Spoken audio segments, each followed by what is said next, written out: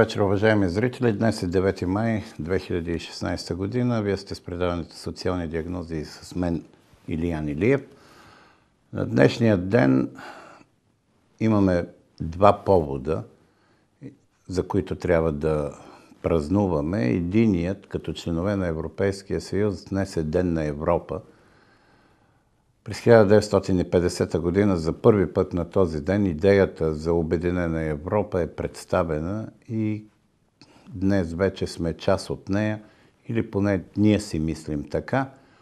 А другия ден, другия ден е свързан с над 50 милиона избити по полетата на Втората световна война и на 9 май 1945 година официално е обявен краят на Втората световна война, която всъщност продължава след това, както знаете, в Тихоокеанския район, но така или иначе прието е превземането на Берлин 9 май, въпреки че той е превзет на 2, но на 9 май е подписано капитулацията на хитлеров-фашистските войски, да се счита за празник. Днес празнува цяла Русия, но за това ще говори и в коментара на гражданина.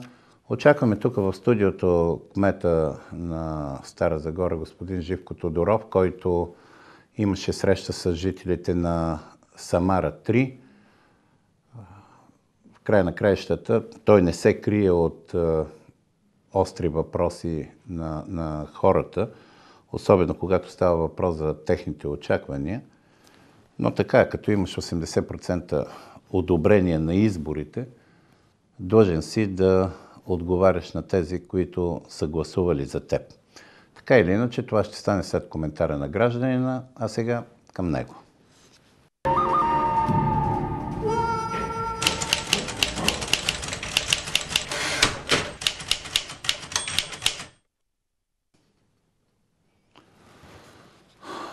Уважаеми зрители, има две сериозни възможности, предвидени в закона, даващи основание да биеш, крадеш, изнасилваш и убиваш в България.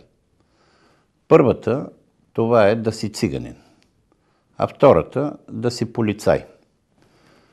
Първият случай те пази Българския Хелзински комитет, полиция, съд, прокуратура, парламент, правителство, европейски директиви, Меркел, Оланд, Обама – във втория случай нашия парламент, БСП, ДПС, реформатори, Патриотичен фронт, ГЕРБ.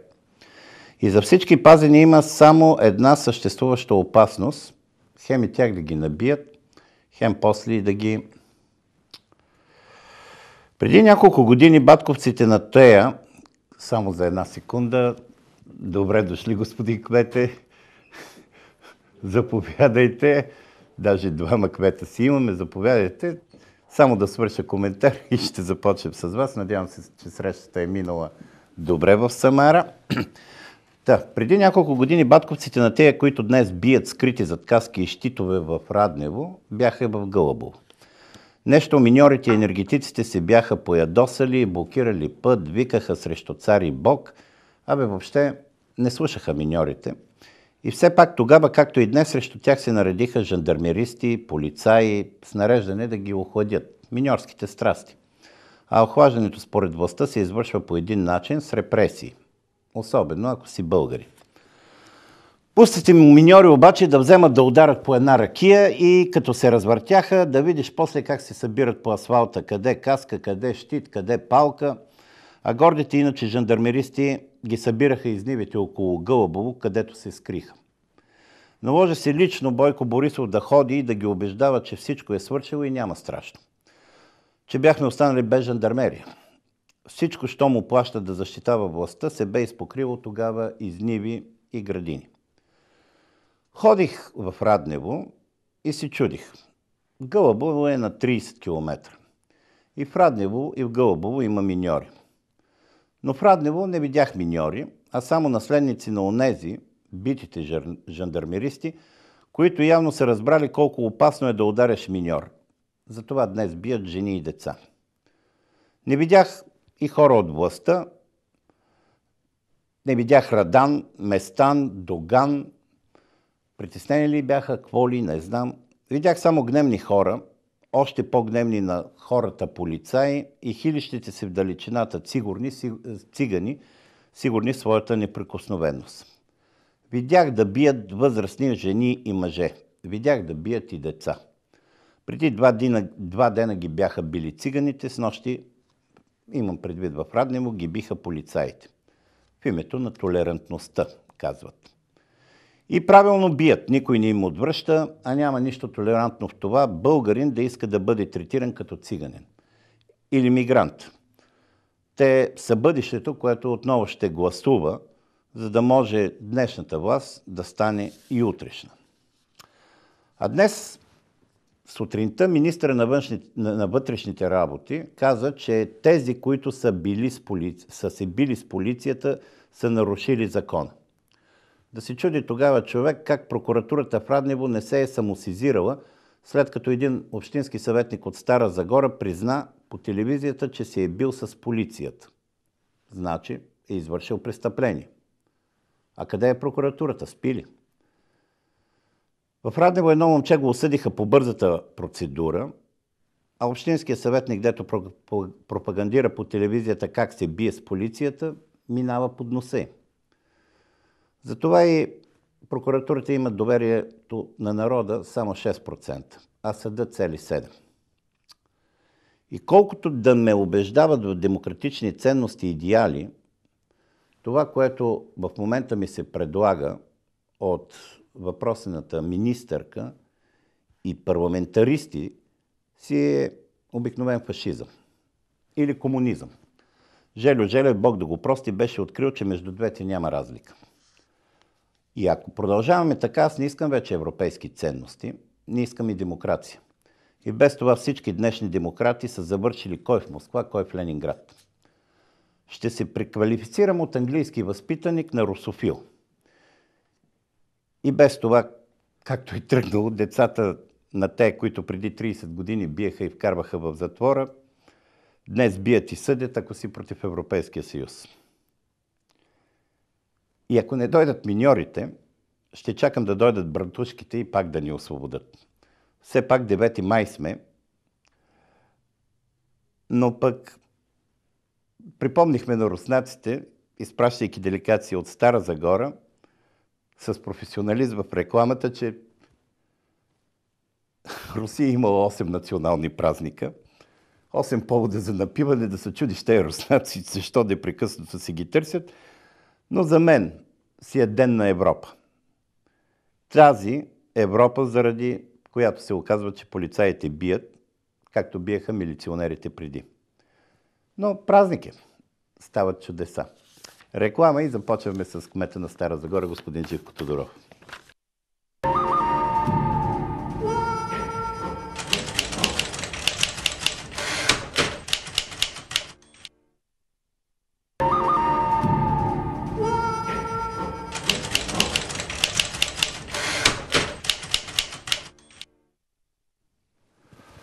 Така, знаете, вече видяхте в предният фрагмент на предаването, че кмета Живко Тодоров е тук. Тук е господин Янчо Калуянов да каже, който е заместник кмет на Стара Загора. Добър вечер още един път официално, господин Тодоров.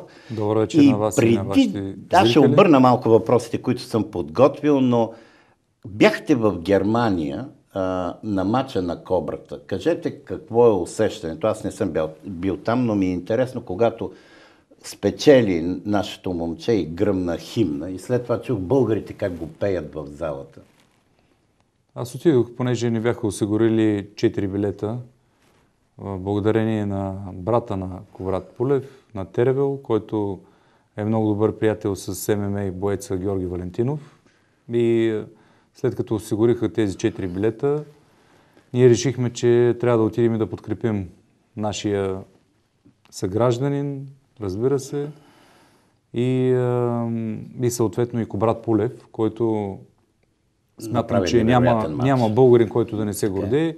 И въпреки, че българите сме малко а, способни винаги да излизаме от едната крайност в другата и спомняте след мача с Кличко как реагираха Да, повечето и в Фейсбук пространствата, и медиите тогава, които така бяха в голяма степен мобилизирани да говорят срещу него, отколкото да го подкрепят. Смятам, че с, днеш, с матча, който направи той тогава и с днешната си форма, която има, той показва, че е един много силен състезател и наистина е достоен българин, защото когато виждаш пред няколко хиляди души как се развява българския флаг и как скандират името му и как го уважават и навън на неговите колеги, които са от световен мащаб, тогава виждаш, че всичко Усещането това... сигурно е много стилно. Усещането е уникално, защото, пак казвам, когато човек излезе навън, тогава разбира, че е българин и че а, реално а, патриотичното му чувство тогава се задейства, защото ние като си стоим в България, обикновено си гледаме нашите проблеми, малко се вадим сами извън света, но е факт, че ние трябва да се гордеем с всичко, което има, има полза и защо да го правим. И смятам, че това е едно от нещата, с което трябва да се Обрат да се надяваме, че ще продължи е, да ни кара да се гордеем с българи, но вие се връщате от среща с гражданите от Самара 3, които а, отдавна така търсиха тази среща. Кажете две-три думи преди да мина към това, което аз съм си приготвил като въпрос. Срещата беше за да отговорим на повечето въпроси, които имат хората. С право се питат кое ще бъде ремонтирано, докъде, до кога ще бъде ремонта, как ще бъде направено, качествено ли е, дали се взимат проби, дали се контролира. Смятам, че в голяма степен отговорихме на техните въпроси. Чухме и много предложения, опасения техни, които са. Съответно, фирмата изпълнител беше там и което мисля, че е много положително. Нека фирмите изпълнител да са на прекия а, така натиск подложен на, от гражданите, защото по този начин и те виждат, че трябва да бъдат много по-отговорни. Това е много И добра. смятам, че си казахме лице в лице всичко, което имаме като забележки и очаквания. Това е много добра тактика фирмите, изпълнителки на такива проекти, заедно с вас да се изправят пред хората, за Разбира да се. разберат хората, че в края на краищата властта дава поръчка какво да се направи, но всъщност отговорността основно лежи върху фирмата, която я изпълнява. И върху нас лежи, разбира се, но, Тя- да, но така е. умишлено вкарваме и хората в това, за да може те да окажат още по-сериозен натиск върху фирмите и а, те да бъдат много по-отговорни, защото в днешно време една фирма изпълнител обикновено се стреми повече към печалбата, отколкото към това да се гледа съвестно работата.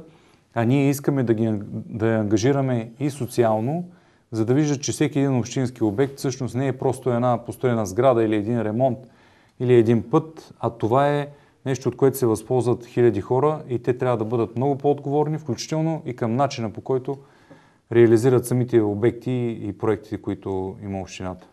Днеска е 9 май, а, както казах, за нас той е празник на Европа, но не можем да отречем, че е ден на победата на хитлерофашизма. Докато бяхте в Германия, паметника на съветския войн, който се намира а, там над Методи Кусев, бе атакуван с а, вандалщина. Нацапаха го с червена боя, направиха нали, така на нищо. Като кмет на европейски град и като човек, който в край на краищата е завършил европеистика, а, какво ще кажете на тези... Аз не съм русофил, въпреки че така а, съм набеден, но, но на тези, които вандали са за мене, оскверняват а, подобно нещо. За мен това е неправилно и първото, което смятам, че още от началото на първия мандат сме се опитали да правим е да не допускаме разделението на хората в обществото. Защото само неграмотни хора а, и хора, които не познават историята, могат да, да направят подобни неща.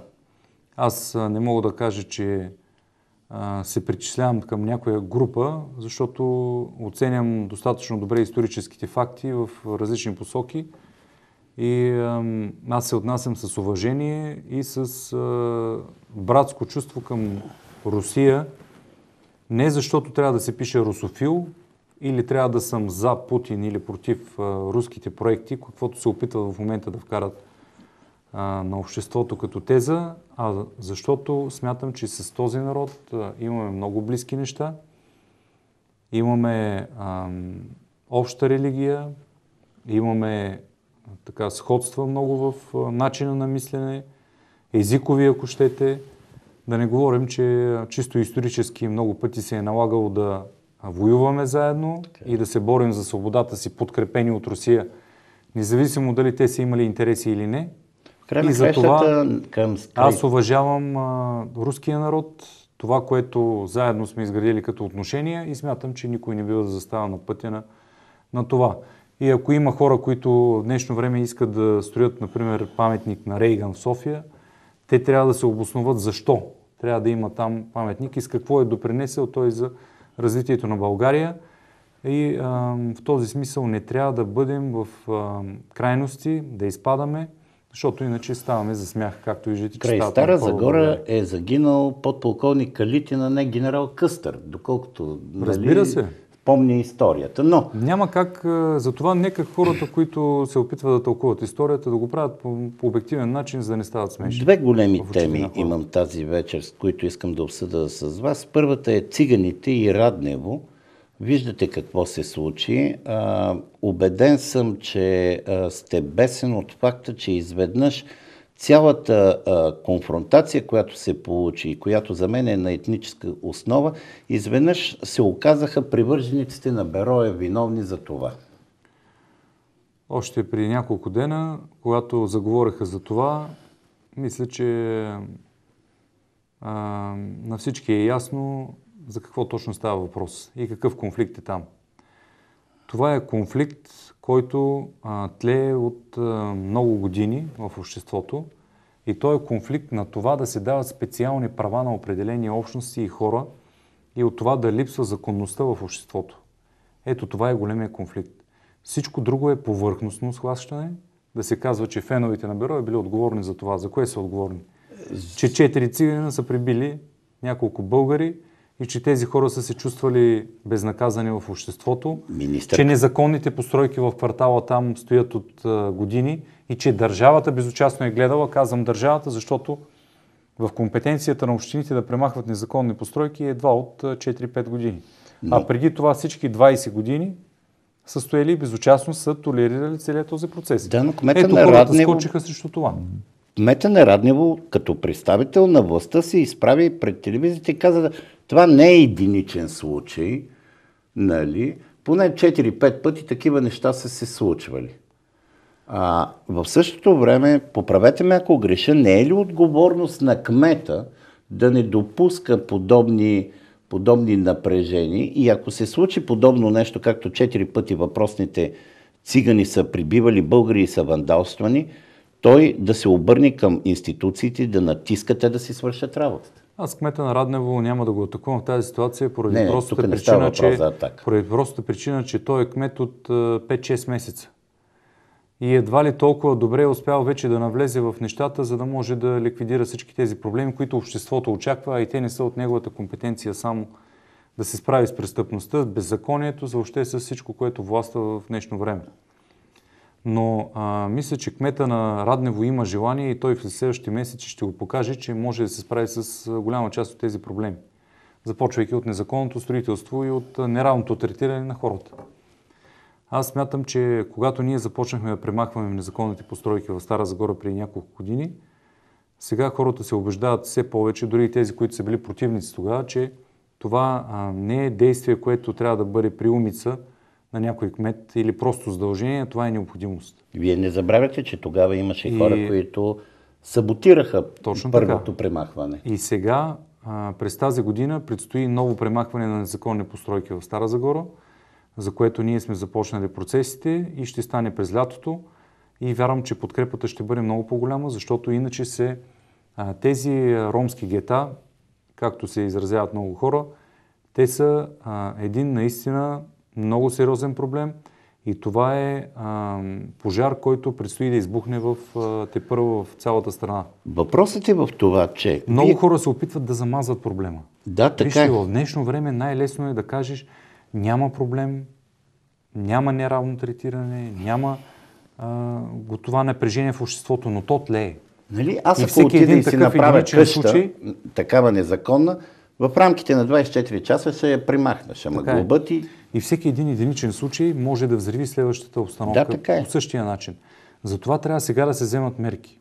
Да се подредят тези, вместо гета, там да има едни законни квартали, в който всеки да си плаща данъците, в който всеки да знае правата си и задълженията си и да ги спазва. Защото вижте какво става. Значи, когато бутахте въпросните 54 къщи, не излезе нито един собственик, който да каже тази къща е моя. Точно така. Сега, когато подготвихте останалите 90 къщи ли имаше? 92. 92 къщи. И сега още над 40 а, коптора, които ще бъдат Така, съборени но в говоря за тези къщи. Изведнъж разбираме, както а, и, и от общината съобщиха, изведнъж разбираме, че адвокати пред а, Старозагорския съд атакуват а, а, нали, а, този процес на събаряне на къщите. Тези Да, адвокати започнаха- кого представляват? И ако Хубаво е, че те- вече имаме конкретни нарушители, които ще бъдат санкционирани с актове и на които ние всъщност ще можем да търсим отговорност. Защото ако е така, че когато бутат къщите за сметка на общината, защото няма собственост там, Да, плаща общината. а плаща общината. Ми, като завеждат тези дела адвокатите, не може ли да командировате един служител в общината, и който заведе дело, да му се връчва Разбира се, веднага? разбира а, се. Той, той признава собственост ние по този точно начин. това и правим, което е много добре за тях, че се признават, че са извършили едно законно нарушение. Точно така. А защо се появи тогава целият този скандал с а, нали, там някаква организация, която беше дошла от София. В един момент думите на, на господин Стоманярски започнаха да се третират по съвсем различни начини. Едва ли не започна да се насажда в част от обществото в града, от кого няма да коментирам в момента, че едва ли не общината отстъпа и няма да бутат циганските коптори. Вижте, аз не искам да коментирам кой служител какво е казал. Защото всеки се носи отговорност за последствията и последствията от това какво говори, но а, мога да кажа, че в общината единствения, който знае кога ще се случи даден процес, това е кмета на общината. Да, така е. Защото в този въпрос има и много политика. И когато аз съм решен да, да вкарам ред в квартала и да не допусна подобни проблеми в Стара Загора, това не може един служител да го направи, защото той няма легитимността и компетенцията да го направи. Поради простата причина, че той не е натоварен с обществено доверие да решава дали нещо да се случи или не.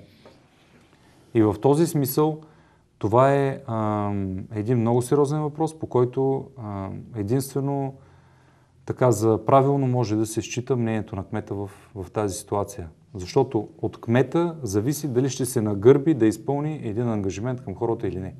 В случая това, което аз декларирам е, че ще докарам процеса по премахването на къщите до край и в рамките на този мандат ще изчистим една голяма част от незаконното строителство в квартал Лозенец. И в същото време аз нали, продължавам да върта. Нямам нищо против а, а, цигани, а, хората от циганския етнос, които живеят по правилата. Разбира се. Аз Нали? също нямам против и никога не Какво съм бил... става с вашата идея да бъдат дадени места, които да се закупят от тях по закона, те да направят къщи по закона, да се включат за ток и вода по закона и да си плащат данъците по закона? Предложили сме на една голяма част от тези хора да си закупят места, да се построят незаконно. Някои са съгласни, други не са. Тези, които не са съгласни, да търсят собствен път до живота. Но не могат да останат на Разбира се. тези да Общината предлага социални жилища на всички свои съграждани, които имат а, проблеми с а, социалния статус или нямат жилища. Който иска се включва в програмата и получава жилище. Който не иска, отива, подава си документацията, купува си парцела или отстъпено право на строеж и строи законно. Това са правилата в България. Всеки друг, който иска да живее по друг начин, да намери друго място, на което да го направи. Стара Загора не е място, в което закононарушителите са добре дошли. Добре, това е хубаво да отидем към втория въпрос. Това е бедечка и референдума, който изведнъж дойде на дневен ред, след като защитниците на, на парка решиха, и това е техно право, нали, да се борят за референдум. В същото време, нали, не искам да ви вкарвам в конфликт с никой, но в същото време един общински съветник обяви, че е почнал подписка. Аз написах един материал, където обясних, нали, че така начина по който той представя подписката е малко като да назначиш педофил за директор на детска градина, но така или иначе видях в интернет един лист от общината издаден, не видях печата наистина. Има ли обявена подписка за референдум? Втория ми въпрос е къде са местата, защото те би трябвало да се обявят нали, от а, а, това нещо. Ясно е, че аз лично мисля, че референдум за подобно нещо е, а, нали, не може да се случи. Но в края на краищата не се ли изправяме пред хипотезата, че ние ще направим една подписка, която после защитниците ще атакуват в съда, защото е незаконна, най-малко няма места, където да се подписва. Има а, така пуснато писмо до общината от общинския съветник Янко Янков, с което иска а, места за подписи за събиране за референдум. Това си е преценил той да, да прави като инициатива. Мисля, че това си е негово право и аз не мога да го коментирам. Но що се отнася до самия казус, смятам, че а, ние няма как да така да а, инициираме каквото и да било, което да се харчат много пари от страна на данакоплаците за а, въпрос, който не се знае въобще дали ще бъде зададен коректно. И дали въобще хората ще могат да се произнесат качествено по този въпрос, защото те нямат пълната информация, която а, би трябвало да имат при самото гласуване. Това е ясно. Другия въпрос, който всички се задаваме е а, трябва ли да се стига до референдум по един въпрос, който е достатъчно обсъждан Това щях да ви в питам. обществото, Този референдум нужен който е ли достатъчно прозрачен. Защото тук вече не става въпрос за нещо, което ам, така да стои в мъгла или пък да не е ясно какво се случва. Тук е ясно всички решения на Общинския съвет, какво е ставало във времето и това, което според мен може да се направи в момента е да се прецени.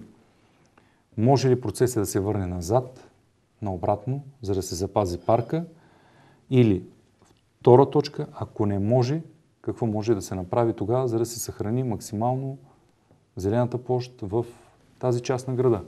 Това са двата въпроса, които ние трябва да отговорим чисто експертно, в което няма нито политика, нито някой трябва да а, застава като флагман на, на всичко това, а трябва да се съберем действително и затова съм предложил според мен най-добрия вариант на тези, които защитават парка в момента, да посочат един юрист, който да дойде, да работи с общината и да потърсим заедно вариант за всичко това, което вече говорихме. И те го направиха. Юриста е даден. В момента общината за, си оформя с него начина по който ще работи и следващите няколко седмици ние ще търсим варианти за излизане от това положение. Господин Ако няма, нека да е ясно пред обществото и да се каже, вижте хора, няма решение на въпроса и действително нещата трябва да останат така. Другия вариант е, има решение, то е това, това, това. Ще го направим публично, с пресконференция, с всичко, с самия юрист и ако действително има решение, ние ще го вземем, защото общината на първо място трябва да защита интереса на гражданите. Съгласен съм, но а, това с бедечка вече започва да става малко като дъвка. Аз съм плодивчанин, нали? Бедечка не я познавам. Извинете, за мен този район винаги е бил нали, място, което не се поддържа, но казвам го така, започва да става като дъвка. Имам чувството, че абсолютно умишлено казусът Бедечка се връща и непрекъснато се придъвка при положение, че ние в края на краищата сме приели, че сме европейска държава, приели сме европейски закони, приели сме конституция. В тази конституция съвсем ясно е казано за частната собственост. Как точно... Вижте, не искам да коментирам, защото ако започна да говоря, трябва да ви кажа, че ще вляза в толкова много конфликти, че Ясно, не искам да влизам в Не тези и конфликти. трябва. Не поради а, друга причина, а защото виждате какво се случва в националните медии през последните няколко години. Когато забаряхме къщите в Стара Загора, нова телевизия, BTV, всички национални медии бяха тук да ме разпъват на кръст, защо го правим това и къде ще бъдат бедните хорица, които в момента ги им събаряме незаконните постройки. Трябваше да отговарям над един месец по този въпрос. Пускаха жалби в прокуратурата, в съда, къде ли не. След това, когато става въпрос за бедечка, BTV, нова телевизия, всички тези медии, които преди това а, трябваше да отразяват, а, така да се каже, казуса честно и независимо, виждате, непрекъснато общината е виновна, едва ли не там се правят някакви задколисни неща. Не ми е омръзнало да се оправдавам на всяка крачка, че това, което се говори в медиите или в а, дадено обществено пространство, не е така. Ако искаха, всеки ден съм в общината, нека да дойдат, да направим едно интервю, да им обясня какъв е казусът точно, но по този казус мен лично никой не ме е търсил и постоянно чета различни а, интерпретации в медиите и е много странно защо никой не потърси кмета на Стара Загора да каже какъв е случая с Бедечка, да ме поканят в студиото да обясня за незаконните постройки. Там стоят представители на Българския Хелзински комитет, стоят различни екоорганизации, стои кой ли не, но така мен никой не ме покани за да обясня по какъвто и да било начин каква е точно позицията на общината по този въпрос. Затова аз ви благодаря искрено, че ми давате възможност на местно ниво поне да обясня пред хората как стоят нещата. Вижте, няма да ви припомням известната народна приказка за сестрата нали, и медиите, а, но в края на краищата аз бях на пресконференцията, когато извадихте четири, а, четири независими оценки. Освен това, аз не съм адвокат, но поне съм се убедил, че напоследък адвокатите явно пропускат часовете за Конституция. Държа на този основен закон на, на държавата и наистина си мисля, че това е проблем, който абсолютно умишлено Вижте, когато, се ще ви дам един прави. пример. Когато общината направи среща с гражданите и организира пресконференция по темата Бедечка в общината, нито една от медиите не присъстваше от националните медии, говоря, Не, бях само На- медисни. на тази среща. Да, така е. За да изяснят всичко, да дадат един репортаж всичко, което е станало. Когато обаче имаше протест, те бяха веднага там. Защо? Защото в случая не е важно каква е истината. И не е важно е важен. какво е решението, а е важно да покажем, че хора протестират в държавата и че има недоволство. Ето това е. В случая имате, имате поискано места за подписка, които ще бъдат официално, то по закон трябва официално да съобщат местата, където ще се събира. Точно така. А, това нещо. Аз пред, казах предварително, че не заставам зад подобна инициатива, поради простата причина, че за мен решението на този въпрос може да се търси само от експерти и от хора, които могат юридически да посъветват общината за правилното разходване на средствата, защото нека да не забравяме, че тук става въпрос за един много сложен юридически казус, от който трябва да излезем.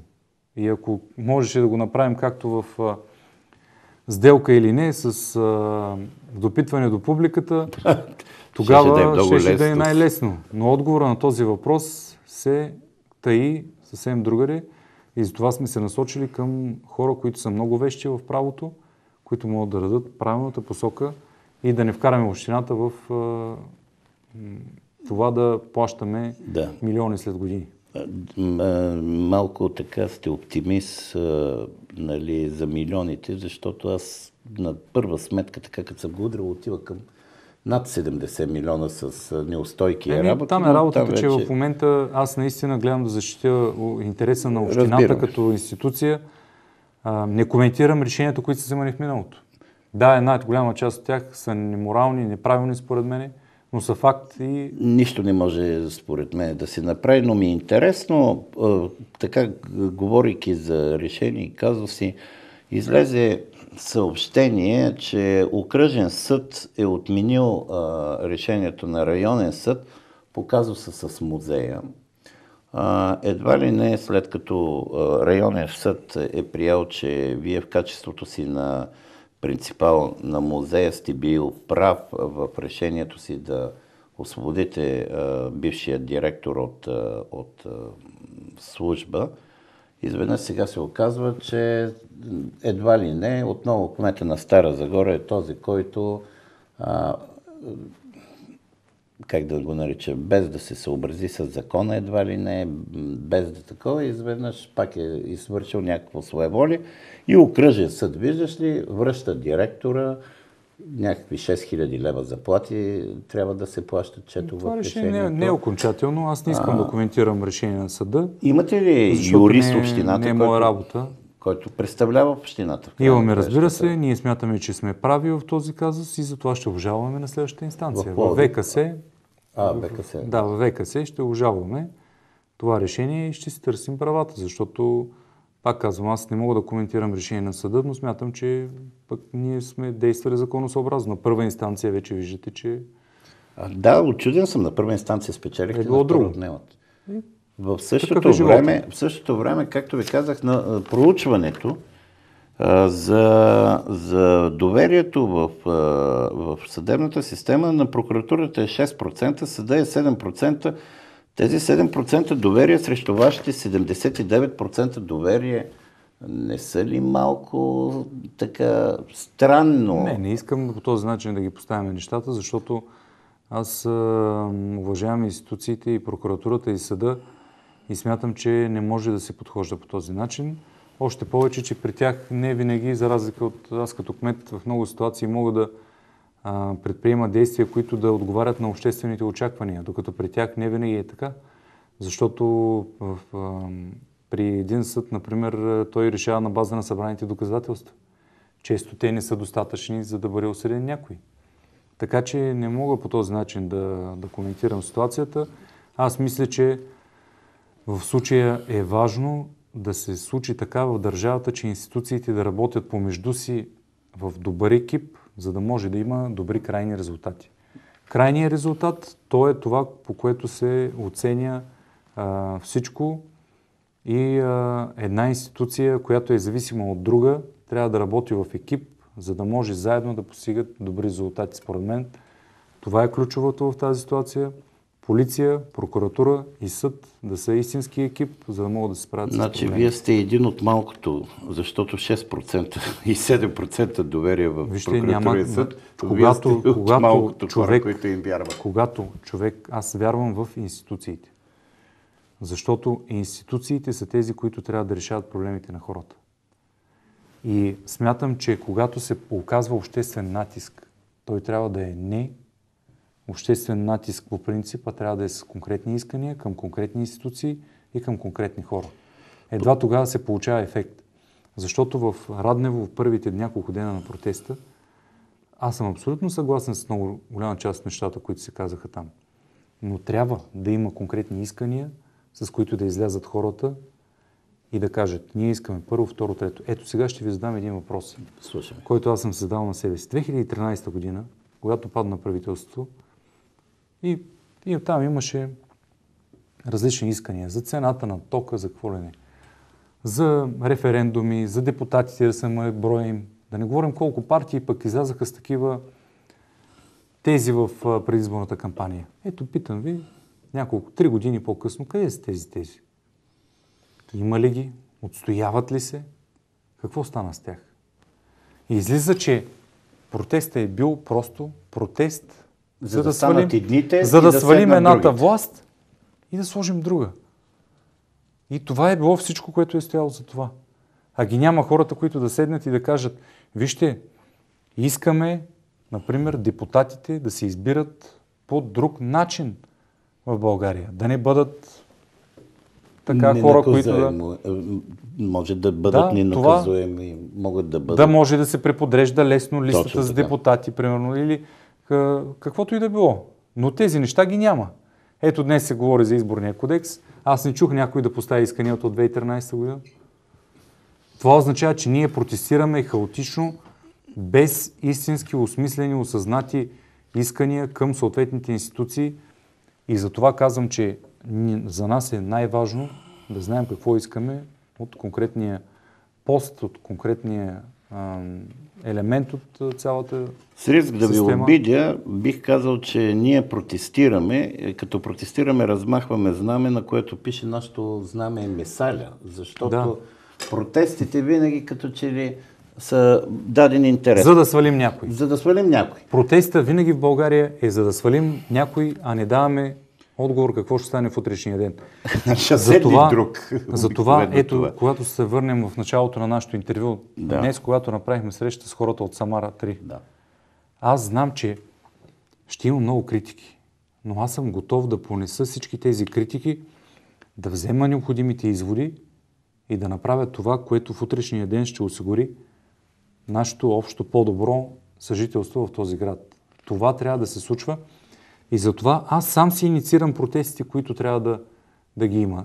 Като каня хората, които са недоволни, Добре, че уточнихте, защото Да, иначе, иначе звучи, аз сам си правя Аз, протести ако срещу сте мен. забелязали през първите 4 години, първия мандат, аз каних всички хора, които са е. недоволни, да се срещам с тях. Никога не съм правил бутафорни срещи с хора, които са доволни, за да ги питам а, нали, с какво могат да ни похвалят. Да, аз е. не искам хора, които да ни хвалят.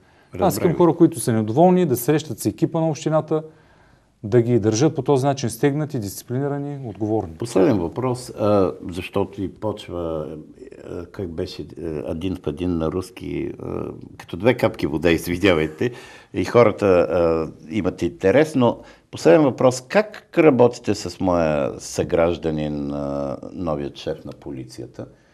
Имахте една идея, която а, там двамата бяхте обсъдили за повишаване нивото на сигурност в а, различните а, заведения, институции, намаляване на, На този шума. етап работим добре.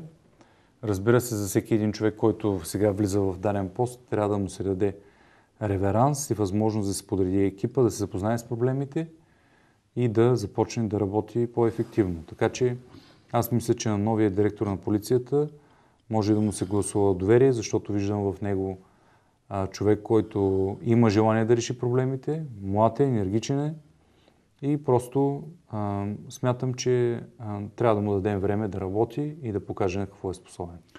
Добре, уважаеми зрители, благодаря от ваше име на кмета на Стара Загора Живко Тодоров. А, дето се вика по-редки да се ни срещате, защото разбрахте, той се среща само с хората, като има проблеми.